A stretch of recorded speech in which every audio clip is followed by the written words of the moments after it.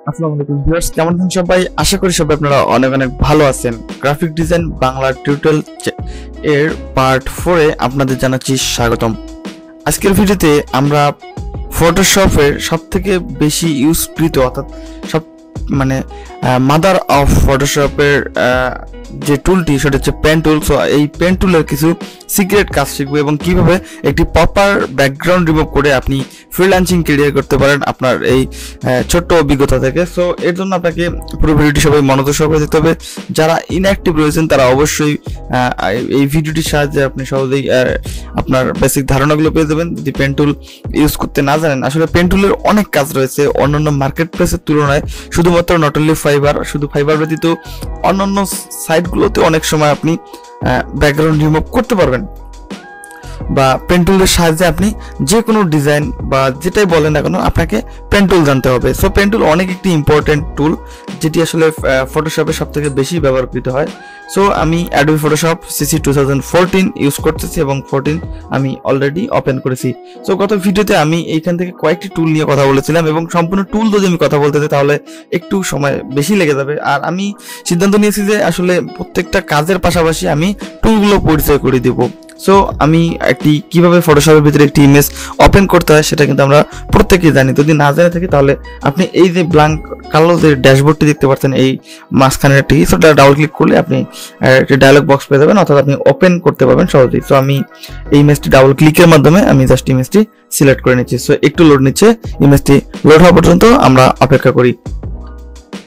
Okay so ইমেজটি কিন্তু successfully load হয়ে গেছে, দেখতে পাচ্ছেন, এটি একটি ইমেজ নিয়েছি আমরা প্রোডাক্ট ইমেজ সো আমি যদি জুম ইন এবং জুম আউটের বিষয়ে অনেকে হয়তো জানেন না, তবে কন্ট্রোল প্লাস স্পেস বারে ক্লিক করলে এবং মাউসের যে কাটচারটি দেখতে পাচ্ছেন, এখানে প্লাস অপশন চলেছে।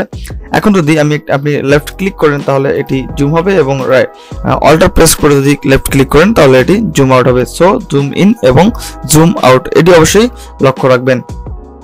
ব্যাকগ্রাউন্ড রিমুভ সহ আমি ক্লিপিং পার্থের একটি মজা আপনাদের, মজাদার যে বিষয়গুলো রয়েছে সো এই বিষয়গুলো সম্পূর্ণ ক্লিয়ার করে দেওয়ার চেষ্টা করব। সো আমি ইমেজটি পর্যাপ্ত পরিমাণে জুম করে নিচ্ছি এবং আমি এখান থেকে পেন টুল সিলেক্ট করতেছি অথবা আমি কিবোর্ড থেকে পিতে প্রেস করে সহজে আমি পেন টুল সিলেক্ট করে নিলাম এবং দেন আমি উপরে দেখতে পাচ্ছেন পার্থ এবং শেপ আমরা মোটামুটি পার্থ মুডে কাজ করব। সো পার্থ মুড হলো আপনার আপনি যেদিক থেকে আপনি এই পেন টুল রেখাগুলো নিয়ে যাবেন, আসলে সেটা আসলে পার্থ থাকায় সেভ করে রাখতে পারবেন এবং পরবর্তীতে বায়ার আপনাকে সেই কাজগুলো থেকে আবার সেই পাথগুলো বের করতে পারবে। হয়তো একটু ক্লিয়ার করে দিচ্ছি সো আসলে এই পুরো ভিডিওটি মনোযোগ সহকারে দেখলে বুঝতে পারবেন আসলে পার্থের বিষয়টি কি।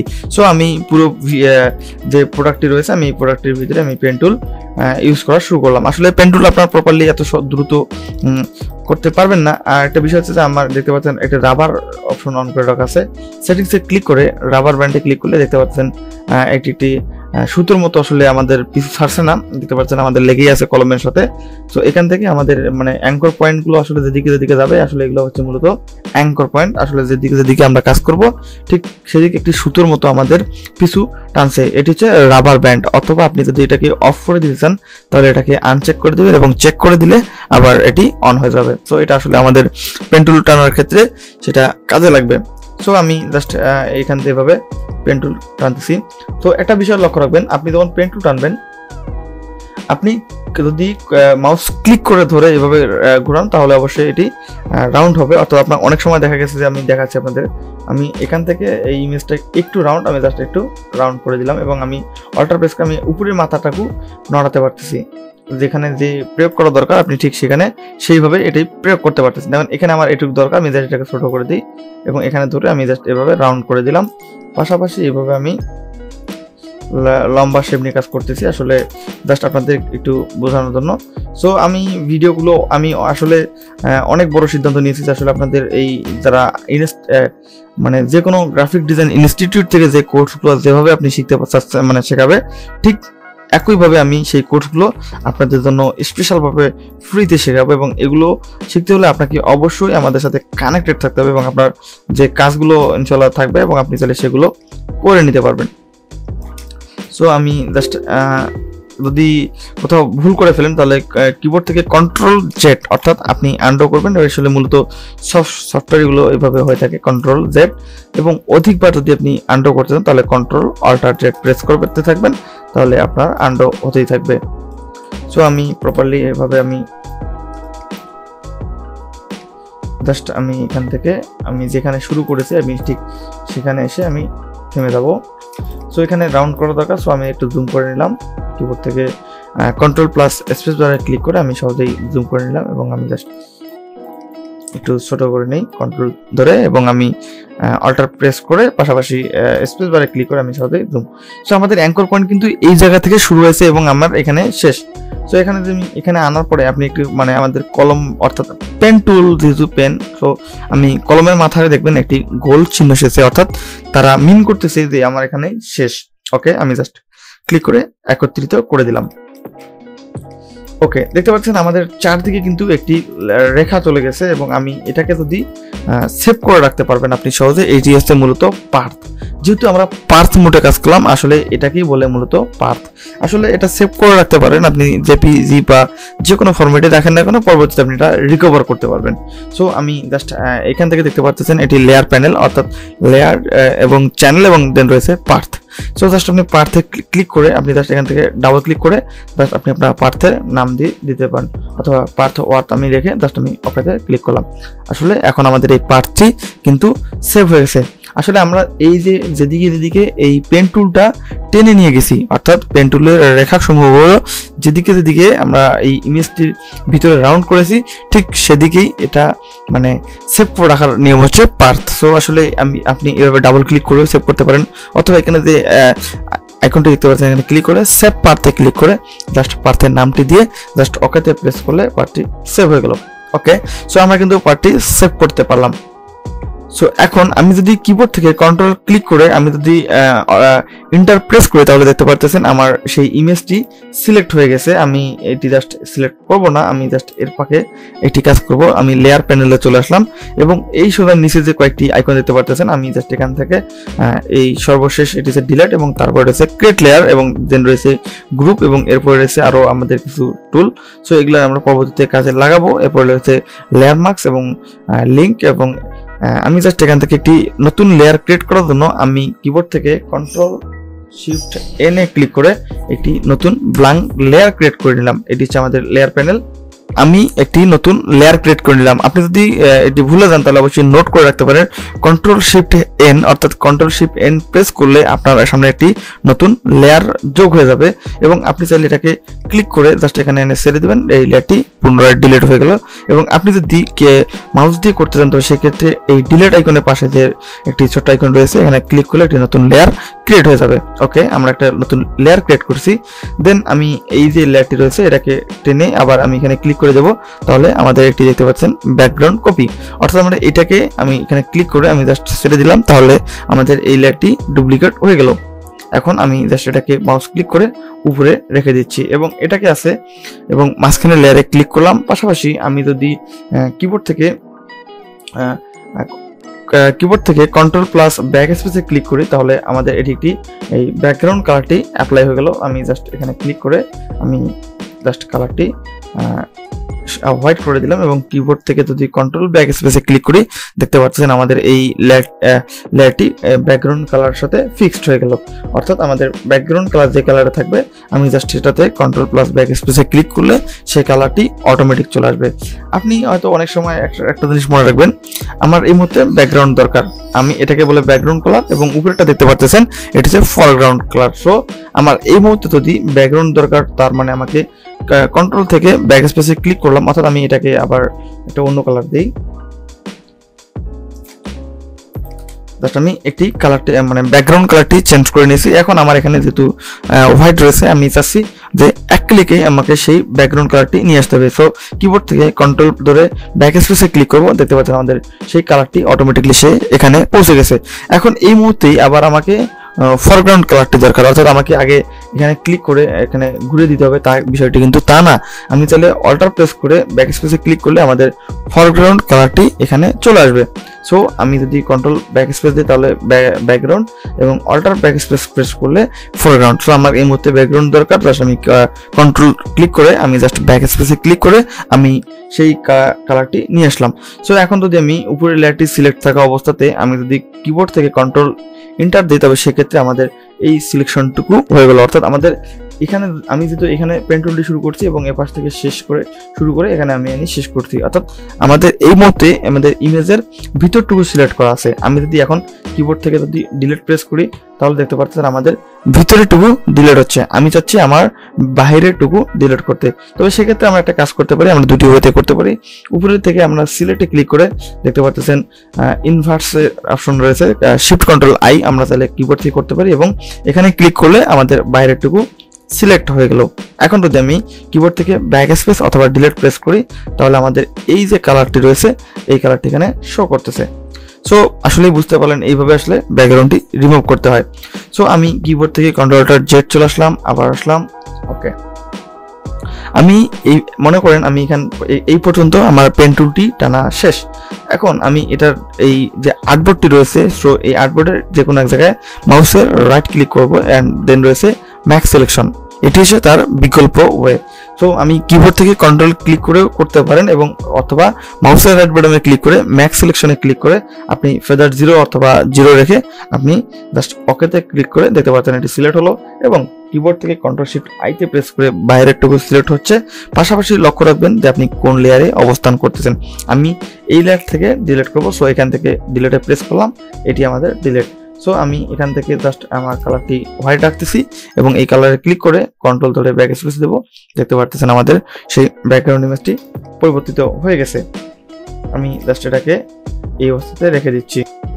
তো বরাবরের মতো আমি আবার অন্য টিমে আসলে এই মুহূর্তে কাজ করব। সো আমি জাস্ট আবার ফটোশপে চলে আসলাম এবং এখান থেকে ফাইলে থেকে ওপেনে ক্লিক করে আমি জাস্ট এই ইমেজটি সিলেক্ট করে নিলাম। অর্থাৎ এখন আমি এই ইমেজটির সম্পূর্ণরূপে ব্যাকগ্রাউন্ড রিমুভ করব। তো আমরা এবার অন্য একটি নিয়ম অ্যাপ্লাই করে দেখব। সো আমি একটু বিকল্প ওয়েতে আপনাদের শেখানোর চেষ্টা করব, যেটা অন্য কোনো ইনস্টিটিউট থেকে আপনি চাইলে সহজেই শিখতে পারবেন না। আমি অ্যাট ফার্স্ট এটাকে সিলেক্ট করে রাখব এবং আমি জাস্ট এই দুটি একটি লেয়ার রয়েছে সো ডিফল্টভাবে একটি সিলেক্ট থাকবে। সো আমি কি করব? কন্ট্রোল জেতে ক্লিক করে, অথবা আমরা চাইলে আমরা আসলে এবার একটি বিকল্প ওয়েতে শিখব। সো তো আমরা আগে যে কাজটি করেছিলাম সো এইটি কাজ করেছিলাম। সো এইটি হচ্ছে যে কোনো একটি ইনস্টিটিউটের তার গাইডলাইন অর্থাৎ আপনাকে এইভাবে ব্যাকগ্রাউন্ড রিমুভ করা শেখাবে। এখন তারা এখান থেকে ফাইল থেকে সেভ অ্যাসে ক্লিক করে আপনার ডেস্কটপ বা যেখানে আপনি সিলেক্ট করতে যাচ্ছেন দেন এখান থেকে জেপিইজি অর্থাৎ জেপিইজিতে আপনি সহজে সেভ করে নিতে পারেন এবং আপনি চাইলে এটাকে ওকেতে ক্লিক করলে, অর্থাৎ আপনি একটি নাম ক্লিক দিলেন, যে আমি জাস্ট ওয়ান ক্লিক করে দিই। জাস্ট আমি সেভে ক্লিক করে জাস্ট ফাইল সাইজ ঠিক রেখে আমি জাস্ট ওকেতে ক্লিক করে আমি এই ফাইলটি সেভ করে নিলাম। অর্থাৎ এটি কিন্তু এখন আমার ব্যাকগ্রাউন্ডটি চেঞ্জ অর্থাৎ আমার এই মুহূর্তে শুধুমাত্র হোয়াইট ব্যাকগ্রাউন্ড দেখতে পারতেছি। তো পাশাপাশি আমি আমার মন গড়া একটি এবার ওয়ে আপনাদের শেয়ার করব। যদি ওয়েটি ভালো, কোনটি ওয়ে আপনাদের ভালো লাগবে এবং আপনি চাইলে দুটি অ্যাপ্লাই করতে পারেন। তো আমি জাস্ট এটার ক্ষেত্রে আমি এই ইমেজটি ব্যবহার করব। অ্যাট ফার্স্ট কি করব? আমি জাস্ট ফটোশপ ফাইলটি নিয়ে আসার পর আমি জাস্ট এখান থেকে ডাবল ক্লিক করে এটাকে আনলক করে দেবো। দেন আমি জাস্ট আমার কাজের মতো পেন টুল টানা শুরু করে দেবো এবং আমি জাস্ট খুব দ্রুত পেন টুলটি টেনে নেব।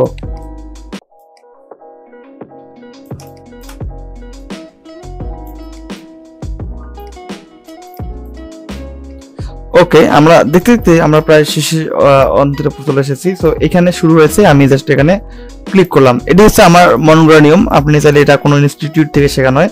আমি এটা আমার পক্ষ থেকে, আমি জাস্ট আপনাদের তো আমি যেখান থেকে পেন্টুল টানা শুরু করেছি এবং ঠিক সেখানে এসে আমি জাস্ট এই পেন্টুলটাকে একত্রিত করে দিই এবং কিবোর্ড থেকে যদি কন্ট্রোল ইন্টার প্রেস করি, তাহলে দেখতে পারবেন যে আসলে এটি সিলেকশন হয়ে গেল। এখন আমি যেহেতু এটি বলেছিলাম যে এটি ভিতরে সিলেকশন রয়েছে এবং আমি যদি কিবোর্ড থেকে কন্ট্রোল শিফট আইয়ে ক্লিক করি, দেখতে পাচ্ছেন বাহিরে সিলেক্ট দেন ডিলেক্ট অর্থাৎ এটি এখন পিএনজি ট্রান্সপারেন্ট আসলে এটি কিন্তু এখন আমি চাইলেই সহজেই মুভ করতে পারতেছি। পাশাপাশি এটাতে কিন্তু আমরা মুভের সুযোগটা পাচ্ছি। এখন বিষয় হচ্ছে, এই ইনস্টিটিউট থেকে আপনাকে এইভাবে নিয়মে শেখাবে এবং আপনি চাইলে এই নিয়মটাও ফলো করতে পারেন।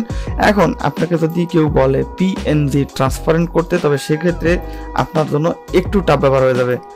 পিএনজি ট্রান্সপারেন্ট আসলে হয়তো অনেকেই বোঝেন না যে আসলে পিএনজি ট্রান্সপারেন্ট আসবার কি।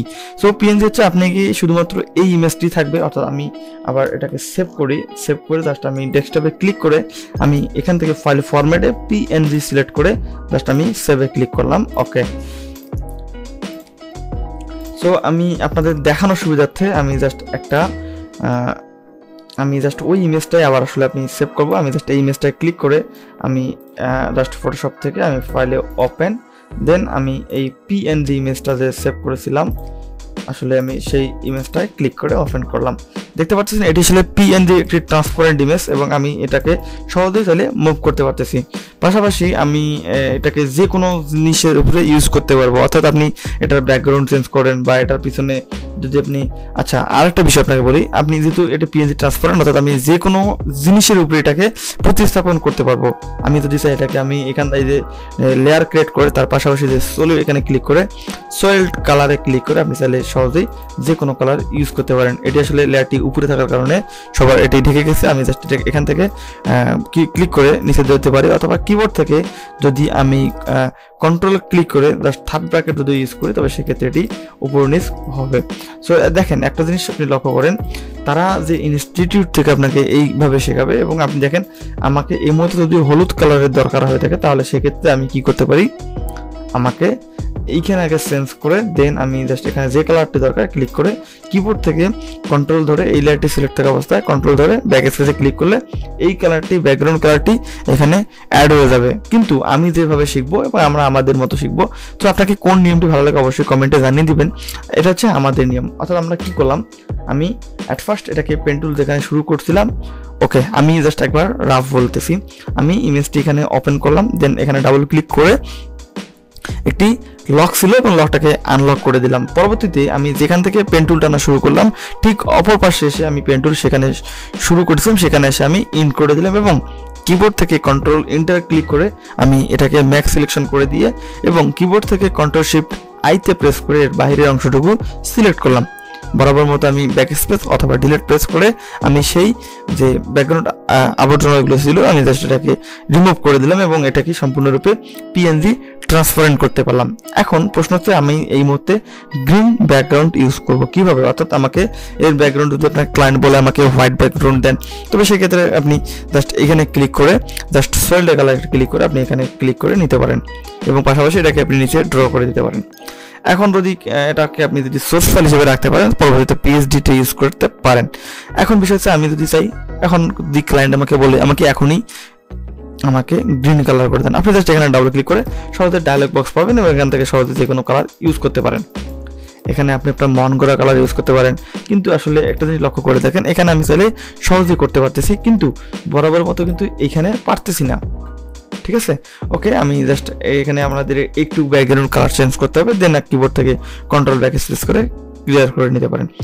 এখন যদি এই এই মুহূর্তে যদি বলে যে আমাকে পিএনজি দেন, তাহলে আপনাকে কি করতে হবে? আপনি এখান থেকে তখন এই দুটি চোখ অফ করে দিতে হবে এবং দেন আপনাকে পিএনজি ট্রান্সপারেন্টে সেভ করে নিতে হবে। কিন্তু আমাদেরটাতে অনেক সুবিধা পাবেন, আপনি সহজেই এক ক্লিকে পিএনজি জেপিজি বা যে কোনো ফরম্যাটে আপনি সেভ করে নিতে পারেন। আমি ব্যাক স্পেস প্রেস করি, অথবা আমি লেয়ারটাকে ক্লিক করে আমি জাস্ট এখানে ডিলেটে প্রেস করে দিলাম। অর্থাৎ আমাদের এটি পিএনজি ওকে হয়ে গেলো। দেন আমি পার্থে ক্লিক করে আমি জাস্ট এখানে ডাবল ক্লিক করে আমি জাস্ট ব্যাকে চলে আসি। কিবোর্ড থেকে কন্ট্রোল অল্টার জেট প্রেস করে আমি এটাকে ব্যাগে চলে আসলাম। ওকে সো আমি যেখান থেকে কিবোর্ড পেন টু টানা শুরু করতাম, ঠিক আমি সেখানে এসে হাজির হলাম। দেন আমি এখান থেকে পার্থে ক্লিক করে ডাবল ক্লিক করে আমি জাস্ট পার্থটি সেভ করে রাখলাম। এখন আমি এটাকে জাস্ট আমি কন্ট্রোল ইন্টার প্রেস করে কন্ট্রোল শিফট আইতে ক্লিক করে বাইরের টুকু সিলেক্ট করে ব্যাক স্পেস প্রেস করে দিলাম। এখন আমি এটাকে কন্ট্রোল শিফট এসে ক্লিক করে জাস্ট ডেস্কটপ সিলেক্ট রেখে আমি জাস্ট এখানে ইমেজের নামটি দুই নম্বর ফাইল দিয়ে ওকে ক্লিক করলাম। দেন আমি এটাকে সম্পূর্ণরূপে কেটে দিলাম। বরাবর মতো আমি সম্পূর্ণ ক্লোজ করে নিয়েছি এবং ডাবল ক্লিক করে আমি সেই যে নতুন ফাইলটি ইনক্লুড করেছিলাম জাস্ট আমি এটাকে ডাবল ক্লিক করে নিয়ে আসলাম। এবং এখন পার্থের মজা। আমি যে পার্টটি সেভ করেছিলাম, সেটা দেখতে হলে আমাকে এখানে থেকে পার্থে ক্লিক করবেন। দেখতে পাচ্ছেন আমাদের সেই পার্থ ওয়ান লেখাটি আছে। অর্থাৎ আমি যেখানে ক্লিক দিই একটা, তাহলে দেখতে পাচ্ছেন একটি আমি জাস্ট ইমেজটি জুম করি। দেখতে পাচ্ছেন এটি কিন্তু আমাদের সেই একটি রেখা দেখতে পাচ্ছেন আমি কন্ট্রোল ইন্টার ক্লিক করলে এটি সিলেকশন হচ্ছে। অর্থাৎ আমি বরাবর মতো এটাতে নতুনভাবে কাজ করার সুবিধা পেলাম। আপনাকে যদি বাইরেকে কাজটি দিলে, তবে সেক্ষেত্রে তারা এইভাবে দেখে এবং আপনার কাজের সূক্ষ্ম কোয়ালিটি কি হয়েছে কিনা, সেটি তারা আসলে এইভাবে ভিউ করে থাকে ম্যানুয়ালি সো হচ্ছে ক্লিপিং পার্ট এবং হচ্ছে প্রপারলি ব্যাকগ্রাউন্ড নিয়োগ. সো যারা আমাদের আমাদের ফেসবুক পেজের সাথে কানেক্টেড রয়েছেন ফেসবুক পেজ রিলেটেড যে আমাদের গ্রুপটি রয়েছে সো সেই গ্রুপে যারা জয়েন্ট আছেন, তারা অবশ্যই তাদের জন্য কিছু আমি ইমেজ আপনাদের সাজেস্ট করব, আপনি এই ইমেজগুলো একটু ব্যাকগ্রাউন্ড রিমুভ করে আপনার হাতের স্পিড এবং আপনার সব কিছু বাড়িয়ে দেখতে পারেন। অর্থাৎ আপনি তাহলে আমাদের সাথে কানেক্ট করতে পারেন। সো পরবর্তী পার্টে আমরা আরও বিস্তারিত কথা বলব। তো তার আগে বলে নিচ্ছি, যদি ভিডিওটি ভালো লাগে থাকে তবে আপনার উপকারে আসে থাকে, তাহলে অবশ্যই চ্যানেলটি সাবস্ক্রাইব করবেন।